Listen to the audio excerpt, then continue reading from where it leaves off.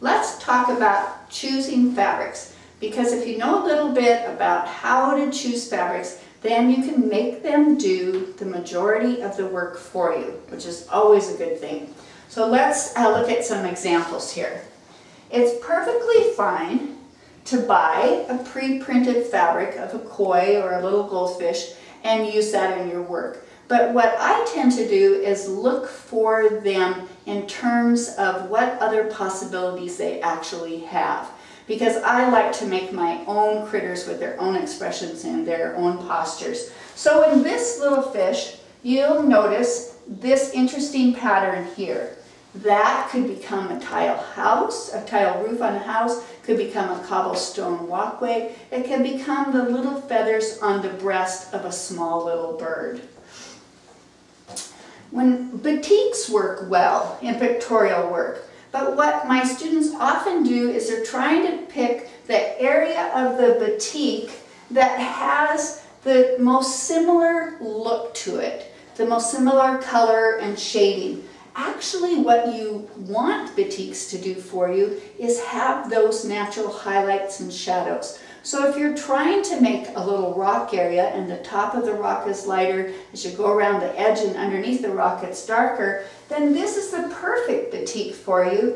And you just cut it off so that it makes that rock for you and does some of that work for you, using the, the natural part of the batik that has that in it. I made a Red Rock Country quilt with those beautiful, um, vivid red rocks that you find in Utah. And I got really lucky and found this wonderful rock fabric. And it worked great for all the rocks in the foreground because your foreground colors need to be richer in color, much more vivid, saturated colors. So the, this print worked great in the foreground. But any time that you are trying to go back and back and back in your composition and create some depth and perspective, everything in terms of color and value gets muted, muted, muted down. That's how you create distance and uh, perspective in your work. So unfortunately, I was not as lucky in trying to find a print that was in that same color family, but not that rich saturated color. Many times you can just simply flip the fabric if it's a good quality fabric and you can use the back side of that fabric to do the work for you. In this case, this print flipped beautifully. It's those same color families, same kind of shading and, and print, but it's much, much more muted down. So look for good quality fabrics that have the ability to flip for you. When I go to the fabric store and look at prints, like this print, what you mostly are going to see is just the metallic that shows up in this print. But if you flip it over, you will see, loo la la, now I have water. Lots of possibilities of water there. So in my exhibition quilts, probably a good quarter of the fabrics found in, within that quilt are actually the reverse side or the wrong side of the fabric. And if you look in your stash at home and start flipping those fabrics, you might find that you can practically double your stash with what's on the back side of a print. This fabric I call a transition fabric. This kind of fabric I might even buy more than a quarter of a yard of.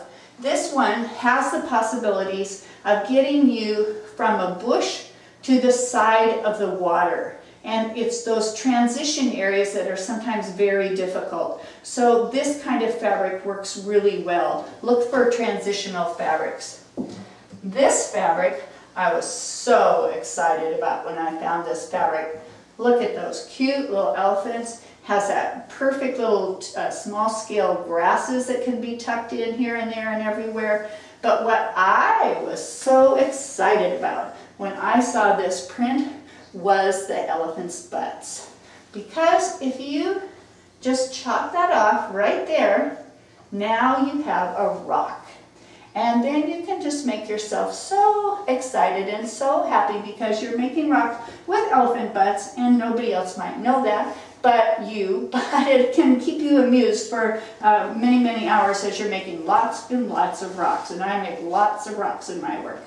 So let's go back to our panda quilt because it's a wonderful example of using lots of different uh, fabrics. So we're going to start in our foreground here with this rhododendron bush. Anytime you're in the foreground, which means you're right close to something, you can have very detailed prints. And in this case, it was a printed uh, foliage fabric, printed leaf fabric. I cut it all apart and reassembled it in the shape and positions that I wanted my rhododendron bush to be in. But you can use those, you know, leaf prints. You can use those uh, full-scale petal sorts of fabric. Bright, uh, saturated colors here. And your warm colors, your reds, your yellows, and your oranges are always going to come forward in your composition. Whether you want them to or not, they will leap forward. All of your greens and blues and violets, naturally, the cool colors naturally recede the